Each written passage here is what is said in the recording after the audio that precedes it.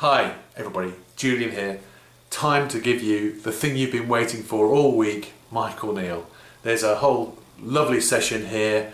Uh, you're going to really enjoy it.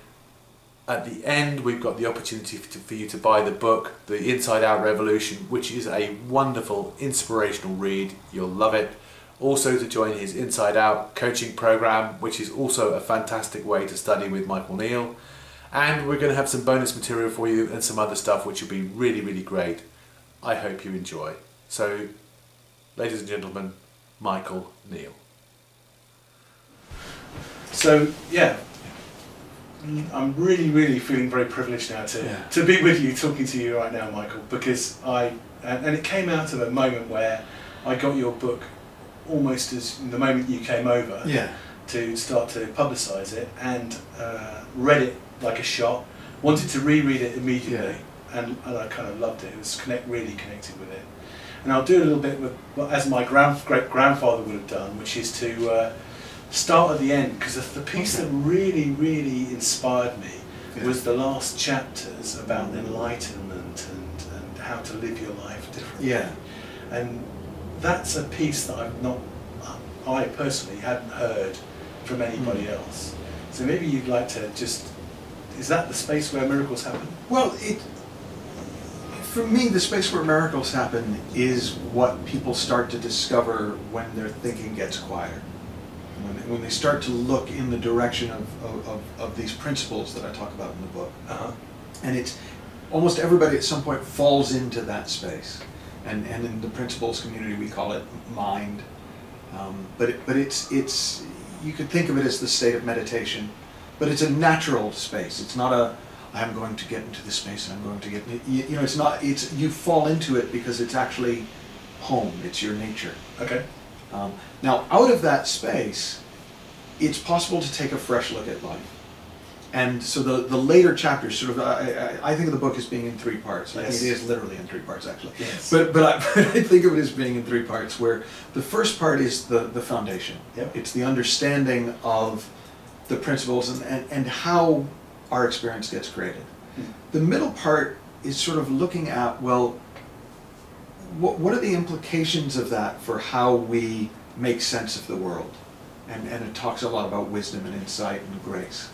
And then, and then the third part is, what are the implications of that for how we might go live our lives? Mm. And I think the reason that you probably haven't seen the third part before is it's just my thoughts. It's, it's not, you know, and I always think it's important to say, it's not if you know these three principles, you will live like this. It's just, it's occurred to me, given what I understand about how life works, it makes a lot more sense to me to live like this. Oh. Um, and, and I kind of hope I do a reasonable job of kind of making it non-prescriptive, where people don't think, oh, okay, so I've got to do this and I shouldn't do this. And I, you know, for me, this is a description of how life works. And then it's just an exploration of, of, of what that might suggest for what's possible, um, which is a lot more than people think. Yeah, no, uh, I think that piece, is it something you said about, um, a sentence that really struck me mm. was, uh, it's, it's not the absence of thought, it's the presence of mind. Yeah. And I really love that because I've been um, understanding the principles now for a little while, yeah. and you do tend to get focused on no thinking, less thinking. Yeah, yeah. Thought becomes sort of this bad guy, and and you're trying to conquer thought, like meditation, or you know, that, or, that, or, even, or even just yeah. Once I've got rid of this thinking, I'll be fine. Yeah. yeah, and and and it is. It just becomes stress reduction 101 then. It's not really at that level that different to a lot of other things. Mm. It's it's when what comes into that space, you know, the the presence of mind that that energy and intelligence that we experience as wisdom and insight, that and well-being. I mean, that that's what makes this so exciting and, and, and so different. And I understand when people read it, there are people, I, I love how many people have the experience you've had. Great. And, and, you know, people, you know, they're on their third reading, their fourth reading, and for me, that's exciting. I understand the people who go, that's it? You, you know, because at first glance, it sounds like a bunch of other things. Oh yeah, meditation's good. Oh yeah, yeah, quiet mind. Yeah, yeah, that's good. You know, I've read about that. Mm-hmm. Whereas for me, what was so different about this was that it, it, it's really pointing to truth. And, and I, I, it's funny, I found myself, you know, we were at the conference today, and I found myself saying to a, a number of people who were going, well, you know, I, I kind of think I see it here, but I don't see it here. For me, this is either true or it isn't. If it's true, that changes everything. And in my experience, it absolutely is true. If it isn't true, if it's just another set of good ideas, even I'm not that interested. Okay. Right? The world's had good ideas for thousands of years. It doesn't need more of mine. Right. Um, what's so surprising to me about this is I, the last thing I expected was to find something that was true. Oh. Right? I came out of an NLP background where, you know, it was all about the most useful lie. And I didn't use that word pejoratively. It's like that's what we were trying to find. It's like given that there is no truth, what's the most useful thing we can make up? And that was, look, it was better than getting stuck in one way of seeing. Yeah. But it left you kind of without much of a compass. And so, yes, you could absolutely reframe things. You could look at them different. You could think better. But then what? Yeah. And, and, and for me, when I first started to glimpse this, and I write about it a bit in the book, and so it went, oh, wait, well being is the default. Peace is the default. Connection is the default. That really messed me up in a good way. Say more a little, bit more about that because how, how do you do you know?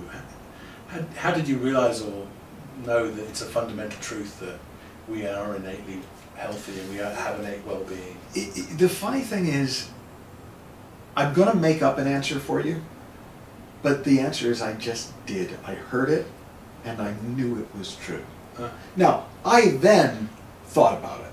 And when I thought about it, I thought, well, gee, babies are innately healthy, are innately well. You know, babies don't need therapy, yeah. right? And and at some point, you know, even even my kids when they were younger, you know, you could absolutely see. I tell the story of you know Maisie coming into the room, and I've got a client and saying, "Daddy, you know, can I go play with the fairies?" you know, and I said, "Sure." I mean, you know, after all, I'm not an ogre. Right. And and you know, and and that. And, and I turned to the client who was desperately kind of going, "Oh, I'd like to work on, on, on connecting. Can you help me connect?" and I was going, "Do you think Maisie needs to work on connecting?" And he was like, "Well, no, but she hasn't learned to cut herself off yet." Right. And see, I think intuitively we do get that we do that. That we're the ones who cut off from source. We're the ones who cut off from each other. We're the ones who who take the reality of an individuation of a physical self and turn it into I am separate and you are separate and enemy or friend and, and all that game of life all comes from that fundamental cutting off that we forget that we did Uh-huh. that isn't natural. And I, I, I, to me, the distinction between natural and normal is huge. Most of what I'm talking about isn't normal. It's normal to, to hate people. It's normal to feel separate. It's normal to feel isolated and alone and sad and all of that. Mm. But it isn't the design. It's just one of the things we can do with this amazing gift of thought. Um, and when you see that, you're less inclined to do quite so much of it. Right. I guess that's my experience of it is that uh, as you get more and more of an understanding, and it is it, it is a journey, isn't it? Mm. Uh, you you, Yeah. you, you, uh, um, you do tend to uh, see it more, see the thought more for what it is. Yeah. So, you just mentioned something really interesting, which was kind of like we're talking about the journey of Mm. understanding and moving towards understanding that everything Yeah. is works this way. Tell me about that journey. How was that journey for you, Michael? How was that journey for me? It was, it was mostly lovely and sometimes icky. in, in, in that it's not, it's very different because it, it's more like describing a journey down a river than a hiking trip. So it, it, there's, there's not, like in a hiking trip, yes, there's the trail, but it, a lot of it's down to you. And in this, really all that's down to you is staying in the boat. Mm. You know, you ha- you do have to stay in the boat. Like you do have to stay in the game. You do have to stay in the conversation. But other than that, it's it's an unfolding. So so it's like the wisdom of mind, this deeper intelligence that, that that's part of our nature. That unfolds it to you. but you do have to keep listening. So in a way, you're absolutely involved in the process, Yeah. but there's just nothing to do. And and that, for a long time, I kept trying to do something with it. Okay. Like, okay, well, how do I get this more? How do I get better at this? Or how, it, for the longest time, it- when I was first learning, it was like, well, how do I use this to create the miracles that you guys are creating? And it was, I, you know, I actually went up to uh, La Conner to spend some time with George and Keith and Linda, and and I went up absolutely with the intention I'm going to model what they do. I'm going to NLP it. I'm going to figure out the strategies, the the underlying beliefs, and I'm going to create the model and teach this therapy from a make it accessible to the masses kind Yeah, of thing. yeah, yeah. And uh, and when I came back uh, fr from there, my, my, my friend who's doing NLP with me said, "Well, did you get it?" And I, I, I said I, I said to him, I, I said, "I'm so sorry. I, I drank the Kool Aid because because I just had seen something, and I didn't expect there to be anything to see, and that was that that's what's so different is it, it you know people ask me now." Why do you think this works so well? Why do you think this is so life changing? And I say, because it's true. And, and you don't even have to be that good at pointing to the truth, because it's really there. As long as somebody looks, they'll see it. Um, and, and, and in a way, our job, those of us who try to have this conversation with other people, is just to keep them in the conversation and keep them looking in that direction. When everything else in life is telling you, no, no, no, no, you need to look at your circumstances. You need to look at your habits. You need to look at your behavior. You need to look at your, your the specifics of your thinking and change this thought for that thought. And, and to actually just keep going to people, no, no, no. You don't have to look at any of that. Look for what's true. Look for where your experience is coming from. Look for this deeper intelligence, this source. That's going to look for a feeling. Mm. That's going to carry you. That's going to give you everything that you need.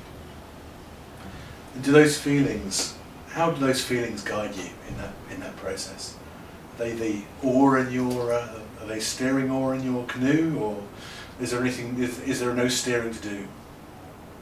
Well, in, in, in the sense of the unfolding of the learning, I don't think there is any steering to do. You follow your nose, you follow your gut, you follow what interests you, you, you know, your wisdom will guide you on this journey. Um, so you could say it's the oar, but I'm not convinced that it isn't also the river. Okay. Um, I just think it. in a funny way, once you get past the idea that it's your job to figure it out, it's really a relaxing way to learn. Because there really isn't anything to do. And I, I, no matter how many times I say that, I know, because I was, I, I was there, I was like, okay, so step one, don't do anything. Step two, you know, and then you want to know, well, how do I not do anything? Hmm. And and it's and I think the other thing is people get confused when they hear that and they think, oh, so I'm not supposed to do anything, and they sit. And it's it's not a behavioral injunction.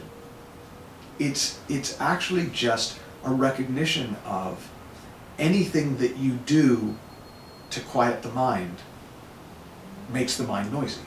You know, I, I use the I don't actually even know if this analogy is in the book, but I sometimes use the analogy of wisdom being like writing at the bottom of a swimming pool. So it'd be like, the answer to your question is written at the bottom of the swimming pool. Now, if you dive in to try to find the answer, you're not going to see anything. Right. You actually have to kind of just stand by the pool, let the water settle, and then it's there. In fact, it's magnified by the water. And it's, it's, it's like that. When the mind gets reflective, when the mind gets still, the wisdom's already there. But you know, trying to do something to quiet the mind is like diving into the swimming pool to, to still the water. Okay. It doesn't work that way. Okay. And um, so one of the things I really love about, well, two things that you said that I, I really love. One of them is that uh, uh, I've seen you talk about this before, and even today I'm getting the same sense from you, is like 100% absolute certainty that Mm. this is the truth. And that sense of trust seems to me to be hugely powerful. It, it, it, I'm tempted to say it's everything. I don't know that I'm right. Like, I don't know that it really is everything. But the trust, I always say to people when they say, well, it sounds like faith. Well, it, it, it's a kind of faith, but it's it, it's not a blind faith. Like I have a certain amount of faith that the sun's going to come up in the morning. You could say I have certainty that the sun's going to come up in the morning Right. because it always has. Now, of course, it's possible one day it won't. Yeah. Well, I've got that same kind of faith that thought creates feeling because it always does. I've got that same kind of faith that that deeper intelligence is available because it always has been. Now, might one day my thought not create feeling and there not be a deeper wisdom? I suppose it's possible, but I, I have I have a certain degree of, of educated faith Right. that the sun's going to come out tomorrow and I will have fresh thought and new ideas and in the meantime my thoughts will create feelings and I will ride that as best I can. And so uh, we, um, what we're about at Stars of Wellbeing is to get this out to a wider and wider audience, uh, the stuff that we do. And um, I, you earlier you said about you know to, to get something out to the to the common man, as it were, not wishing to be denigrating because they're all great people. And how do you? Well, I, I, we're all the common. Exactly. That's kind of the point. Exactly. Yeah. But but but uh, it seems to me at the moment that this is a fairly little known thing. I, I was shocked because I had worked, I, I'd managed two bookshops in London, you know, a psychology bookshop and a New Age bookshop. So I, I'd read a lot of what was out there in the 80s and 90s. Yeah. I had studied, probably, I, I honestly think I had read as much or more than almost anybody in the field. And I had never, ever, ever come across this, even with my 20 years or so in the field. And, and so, yeah, they did an amazing job of keeping it a secret. um, And how, how easy do you think it's going to be to be accessible to to everybody in the world? I mean, your book Well, does a great job of making it accessible. it- it's going to be interesting to find out.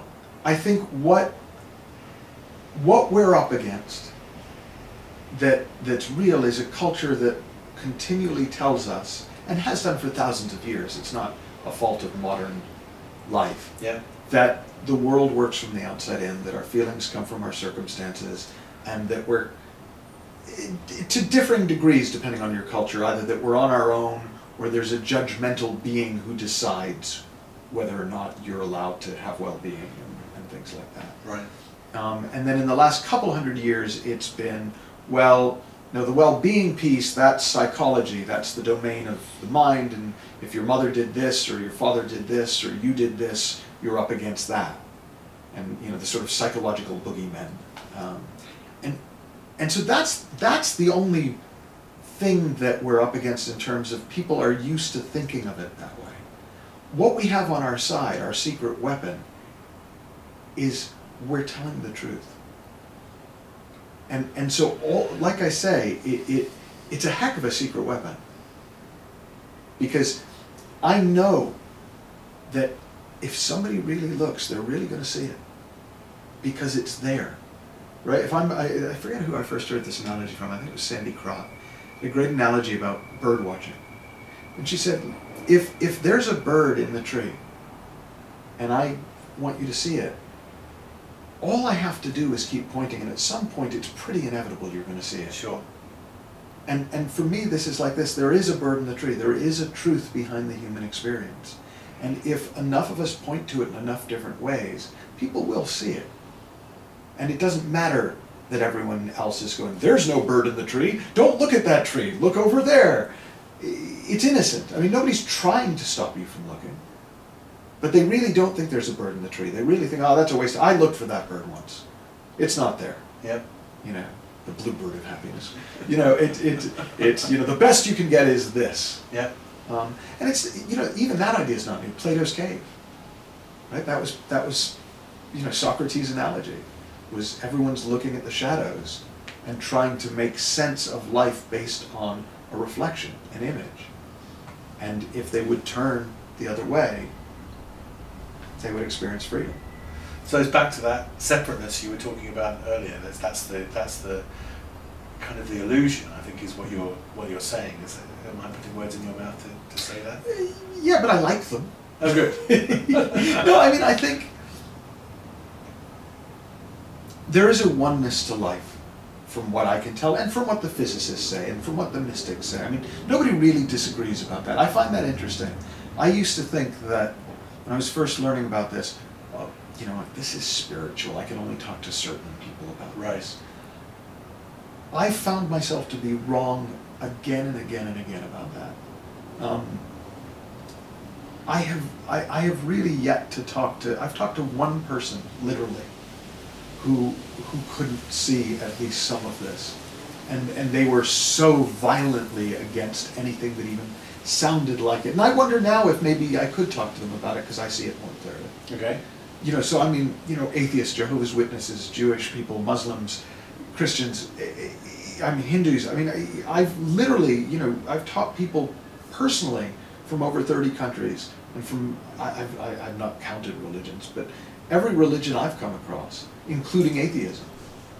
Um, and, and nobody doesn't accept at least at the basic element that we're not in charge, that we're not the, the predominant creative force in the universe. And, and, and just seeing that that actually matters and seeing that thought is the that, that missing link that thought is the thing that creates experience it changes people's lives to see that Mm. and and in, in a really gentle way usually sometimes like a slap in the face but usually really gently people just start to feel better and and things that seemed like when I was first learning I do tell this story in the book you know I was experiencing results with clients and I've been working with NLP for 15 years Yeah. very successfully Yeah. but I was getting results in my private practice I had never dreamt of and and I went to one of my mentors and I said I don't get it. I'm not doing anything. I'm just talking to people about these principles, about the inside out nature of experience. Why would that make these lifelong problems or 20 year problems disappear? And I loved her answer. She said, because they were never really there in the first place.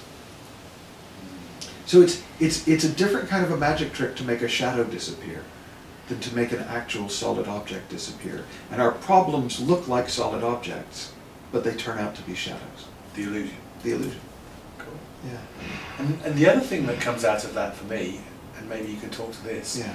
is a there seems to be a huge sense of hopefulness hmm. that comes out of the principles. I love, I don't know if you've read the Lord of the Rings books, Yeah. but one of the things I love in the Lord of the Rings books is that evil is personified in the books by a loss of hope. So what the forces of evil do is they take away hope. And good, white magic, is giving hope. Yeah. And I think that there is a, a lot of white magic here in the sense that there's something incredibly hopeful about realizing we're part of this infinite potential. We're one thought away from well being, no matter what we've been through, no matter what we're going through. We're one thought away. That's incredible to me, and it, it makes it a lot easier to sit with somebody who doesn't get it, and who doesn't get it, and who doesn't get it, and say it for the 19th time. It, it makes it easier for me to say, read the book again. Read, read it, read one of Syd Banks's books again. Because I don't know what's going to trigger it. I mean, to be honest, they might have uh, just as much luck driving behind a beer truck, right? Because what they're going to see is going to come up from inside them. Yep. But when they see it, it's done. That bit's done. And then there's more to see, and then there's more to see. Right. So it's never a kind of there's never a binary answer, is there? There's kind of you see it a bit more clearly and then a bit more clearly. Yeah, and sometimes you have these huge leaps in consciousness, and you suddenly get a whole bunch of stuff clear. And more often than not, it's like, oh yeah, this bit's a bit. I get this a bit more. Or I see this a bit more. Oh, that was a that was a cute insight. And then I, I you know, I was saying at the conference, I think you know, the, you get the the two big ones, which are the the Charlton Heston, you know, oh my God, in, in, insights, and then you get the the Homer Simpson, you know. I think it was Keith Blevens who used to call it flathead therapy because you comes in and you're oh, you know. and and but they're both great. You know, I, I, I remember saying in a, in a talk, I think it was last year at the conference, how you can explain all human behavior in, in two phrases. And, and why does anyone do anything? Because it seemed like a good idea at the time. Sure. And, and for me, what shows that people intuitively sense the truth of, of, of thought as the, you know, the creative force is the is that when you look back and you feel like an idiot for what you were doing, you always say, "What was I thinking?" And we recognize, yeah, it it, it seemed real in our thoughts. I mean, that's I, I don't know. Would it be okay if I go into a little bit Sure. the, the principles because I just think, you know, if, if, if you haven't uh, read the book yet, then what am I talking about? a lot of these people have, so go yeah. ahead. Well, for God's sake, go out and get it. yeah, I But, but in, you know, in the meantime, you know, there's there's really two things. So we talk about three principles, and and the fundamental principle. There's no real sequence to them. They're kind of all the same, very different, like three different angles on the same thing. Yeah, yeah. But is is what we call the principle of mind, what I call in the book the God principle. And it's just that there is a universal intelligent energy behind life. That's as far as uh, uh, you need to go with it. You don't need to decide what it is, where it comes from. There is an energy, an unfolding that we are a part of, that was working before we showed up and will continue to work after we go. And we can see it in our body. We can see the intelligence behind the body. We can see it in nature, the incredible intelligence behind nature. We tend not to notice that it's behind the mind, and it shows up in the mind as wisdom. And we tend not to notice that it's behind all life. I think I could uh, give you some examples of where, for example, we, with my first child, the daughter, Yeah. We tried for years to have a child, and then the moment we gave up Yeah. was when we conceived her. And to me, that is the, that there's something bigger than me, and I should trust to that some more. Yeah. Looking back on it, it seems Well, obvious.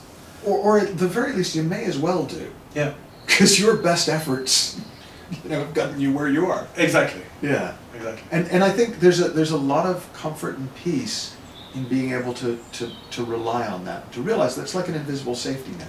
You really can rely on that. Um, you know, consciousness, the capacity to experience life, right? We take that as a given. I mean, it seems so, well, of course I can experience life. Well, why? You know, why do we get to experience life? I don't know, but that's a gift. That, that is a, a, a capacity. I talk about it sometimes like the, the developing fluid for film. It's the boiling water that you put the tea bag in. Okay. Um, you know, it's the shining light that you put film in front of. In and of itself, it isn't anything. It's just pure white light. It's just pure clear water. But as soon as you put something in it, it it brings it to life. Hmm. And so what it brings to life is thought. So thought would be the film, thought would be the tea bag, thought would be, you know, whatever it is that comes to life. Yeah. And that's any life experience that you're having is being created from the inside out via these three principles. The energy and intelligence of life is kind of powering the system, and then thought and consciousness create our experience. And that's it. And it turns out that seeing that is hugely, it's like, it seems like no big deal. Yeah, okay. You know, most people don't really even argue with that. They go, yeah, I see the logic of that. But what they don't see, I mean, I have a test, which I can't, I can't use the language that I would normally use for it. Sure. Um, but I'll, I'll call it the, what, what, what shall I translate it to? The, uh, you know, the, the holy freaking mother of God test. That. Which is that if somebody hears this and doesn't go, holy freaking mother of God, they haven't really got it. Because seeing the logic of it and, and, and, and feeling the impact of it are two very different things. There is a logic to it, and I think it's powerful to see the, that there's a logic to it. But when you actually start to glimpse, oh my gosh, it's all made up. I've been making it all up. Right. And then reacting to it as if it's real and trying to fix it as if it's real. And, and, and you know, or I've been trying to do it all myself and I've been trying to work it out. And all the time, the while, there's this, I, I, again, I don't think this analogy made the book, but sometimes use the analogy of walking along a path with a, with a huge giant behind you and there's this big boulder blocking the path. So what most of us do is we, you know, we set up using our strength and, and or we'll use our intellect, we'll use leverage. So we'll get a lever and we'll move the rock and we'll manage to move the rock like this much, but just enough. And we squeeze through and we have such a sense of accomplishment and ego and heroism. All we actually needed to do was ask the giant to do that. And that's this incredible resource of mind that's always available to us. But we forget, or we don't know, or we, we, we don't, we haven't made use of it enough. We haven't seen it enough to rely on it. And once we start to rely on it more and more, life gets so much more effortless. Because we're not trying to do things that are being done already. Um, you know, the thought feeling piece. When I start to see, oh my gosh, this is all made up. I, I mean, I remember for me, one of the first ones I saw was I was, um, um, we got invited to a Grammys party. I live, I live in Hollywood. Sure. And I, I was like, oh, I'm shy, you see. I can't believe that. Well, I could, right? I did for years and years and years. And I thought it was a real effort. I could get up on stage and prance about, but but boy, then I needed to go hide, right? Because I was shy.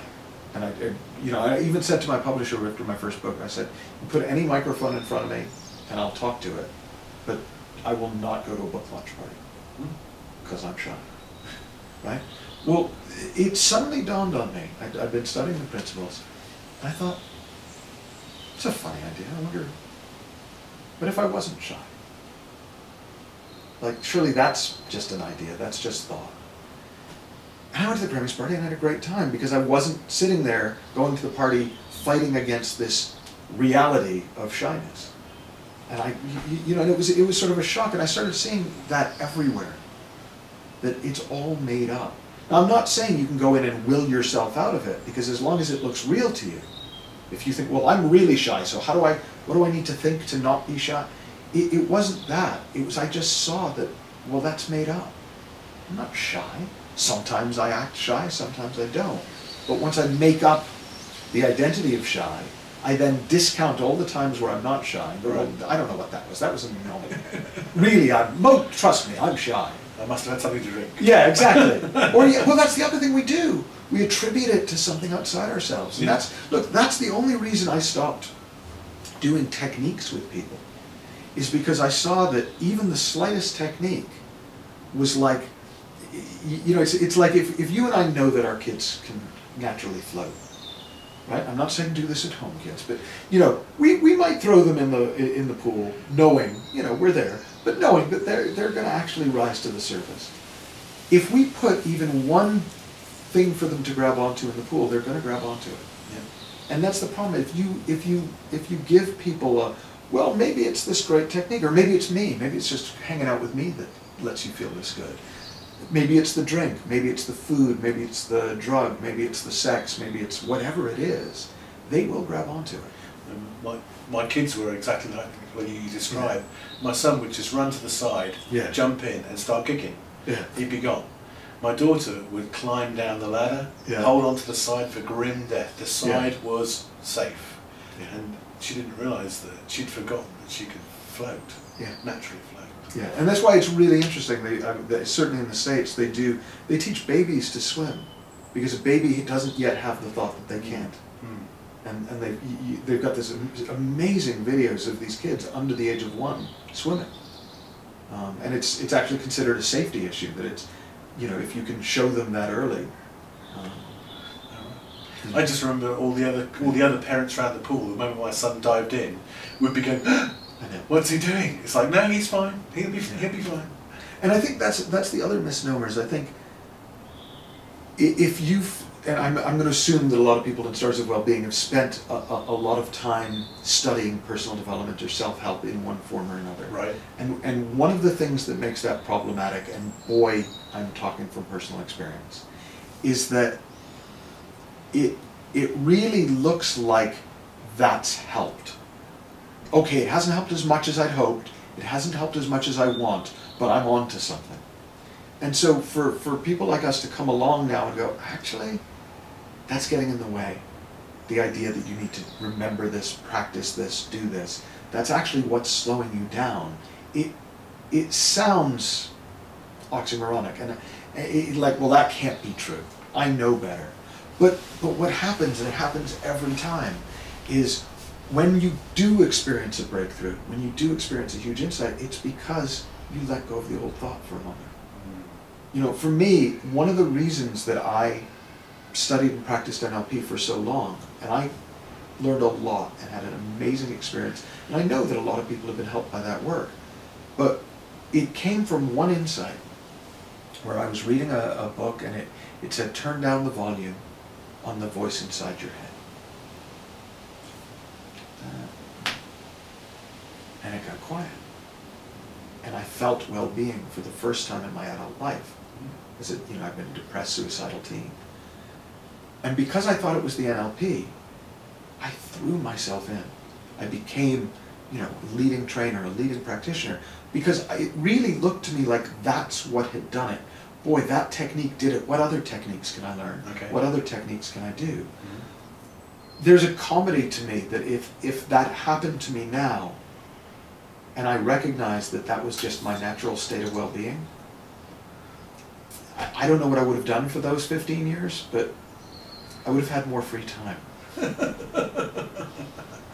But do you, do you find that, um, so you, coming back to your journey, you know, do you find that there was, you talk about when you let go of the thought, did you have resistance? Did you find it difficult to let go? Because you obviously were a very successful, Yeah. have been and are a very successful uh, coach. Hon- hon- Honestly, no, because it, it, there wasn't anything left to hold on to. Like, I, I had thinking about it. I mean, I was about to go on a book tour, promoting a book, telling people about how to use their thoughts to create well-being. But, but I just saw, well, it, but it doesn't work that way. And so I, I, I, I, couldn't keep teaching that. It, it- you know, it's not, it's not harmful, I don't think, that people think that. And I've gotten, you know, look, I know that book has saved lives. I've gotten emails and letters from people. And I also know that that, that idea that I needed to do it, that if I didn't take my behavioral Prozac, as I called it, every day, I was two weeks away from black depression and suicide. Ah, Now, I wasn't, funnily enough, I wasn't that worried about it because I knew I wouldn't stop taking it. right. I, I knew I wouldn't stop practicing. But it was kind of wild when I suddenly saw I didn't have to, and that there was actually uh, something that would pick me up. And I just had never, never let go long enough for it to come into play. I always remember this. This I haven't used this analogy in this context, but um, years ago, Nina and I have been together 25 years now, and, and in the first few years, we had the usual teething Yeah. issues of a couple. And one was that I never cleaned, and and and that I didn't care about the house, and, and I thought she was probably right. You know, I, I, I, I wasn't proud of it, but I never seemed to want to clean.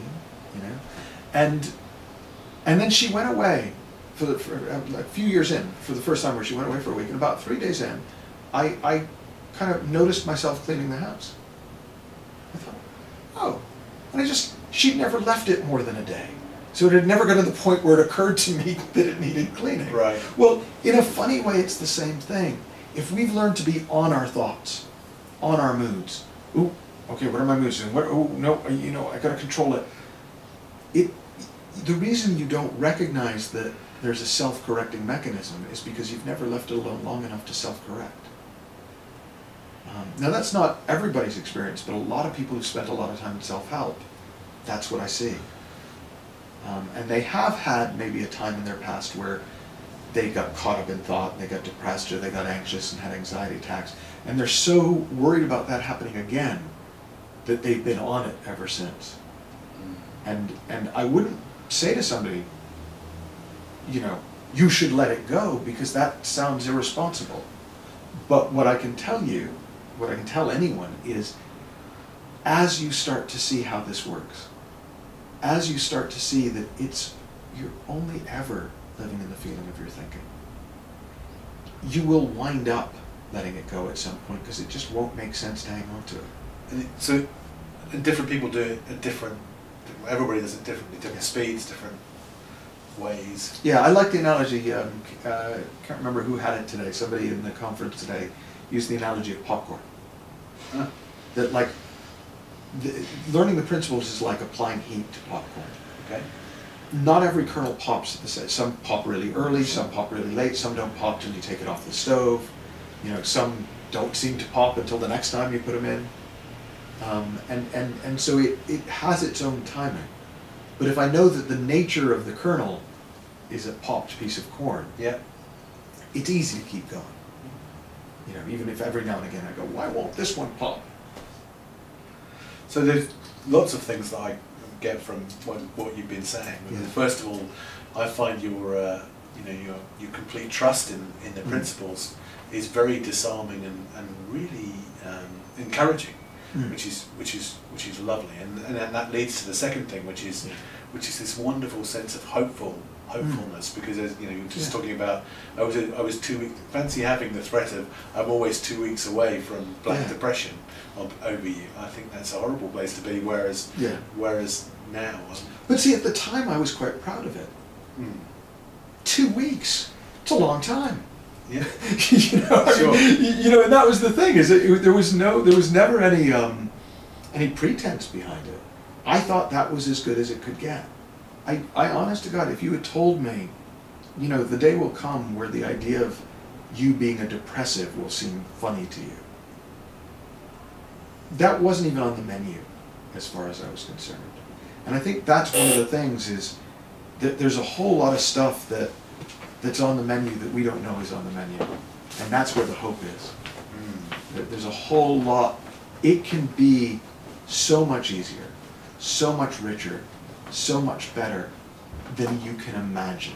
and that's incredibly so again and that's incredibly freeing isn't it I mean the, the, the sense of freedom you get from that is enormous Yeah, and for me, that's the, I would say the key to this understanding is that it's about freedom, not control. So much of what we look to is how can I get more control over my feelings? How can I get more control over my life? How can I get more control over my relationships? This is about freedom. The freedom to, to feel great or feel bad and it be fine. The freedom to have things work your way or not work your way and it to be great. yeah And, and freedom, we're so not used to freedom. Right. It's the it almost seems to be the modern default to be in control, to have a plan, to have goals, and all the rest of it. Yeah. And this speaks to Yeah. a much more natural. Control is such a poor substitute for freedom. It's better than no control, but it's nothing compared to freedom. And what do you think would tip the balance for people to to leave their, you know, modern day complex controlled life, which they feel as, you know, they paid the price for it Yeah. maybe, but they but they feel as success, to moving into this kind of The, the only thing is insight. Like the only thing that, because if you try to will yourself into this understanding, that's just control again. right. It, it's if if something that you hear in this interview, right? If something that somebody reads in the book touches them, sparks just a, a glimmer of an insight, that's all it takes. And then if they look deeper, there's more to see. So just just the tiniest movement, and you're on your you're on your way. and you're on your way. And, and it, you know, for some people, it's just, I don't know why, I just feel better after that. You know, I, I already, there are people carrying the book around. I said, I don't know why, but I just feel better. Well, it isn't the book. It's that what the book is pointing to has allowed their natural well-being to come up to the surface. And uh, like, well, it must be the book. Well, it's not even the book. I mean, the book can be a useful pointer, Right. but what it's pointing to is already there. So people are doing it, but the book can naturally. People do it naturally. Yeah. Everybody. But the book can give them uh, an understanding of the principles. Can give. Yeah, I mean, you know, what I like to, the, the way I like to think of it is what the book is showing is what's already happening that you're probably not noticing. That once you start to notice it, will change your relationship with life. So, the one of the, the big reason for doing this was to Yeah. was to promote your book because I thought it was so wonderful that everybody should know about it. And uh, uh, Thank you. but that's what that's what Yeah. we're here to do. But what else? What else can they do with Michael Neill? To uh, Well, so we, we, we've created a, a, an online program to go with the book. It's called Living from the Inside Out. okay. And so that's uh, a series of video lessons with me where I, t- I go into more depth with the ideas in the book. And, and then there's an online community and there's monthly calls with me. So people can do that online. They can find it at, uh, I, don't know if we can, you want to include links or, or how Yeah, you yeah. want to do it. No, there'll be a link. There'll be a link Yeah, on the page. but so yeah, so people can do do that. For people who want to train in this, there's coaching from the inside out, which is a, an online program, and then there's also you know if you're really in, come on a retreat. Uh, we, we do learning how to thrive retreats three three times a year. Uh, come on Super Coach Academy if you want to learn to do this work. Um, you know, come work with me. Okay. You know, I do intensives. I work with private clients. I've got a, a fairly full schedule, but you know, if you get on the calendar now, at some point, that day will show up. Okay. Um, Well, it's been wonderful to talk to you. yeah, it's been So, great. Thank you. Thank you very much. Yeah. And I hope that everybody's going to uh, either buy the book or click on the link and start the Inside Out program and really start to make that little bit of difference that's going to take them on a fantastic journey to, to freedom. So, all right. Well, thank you very much. Thank you. Really good. Pleasure. Excellent.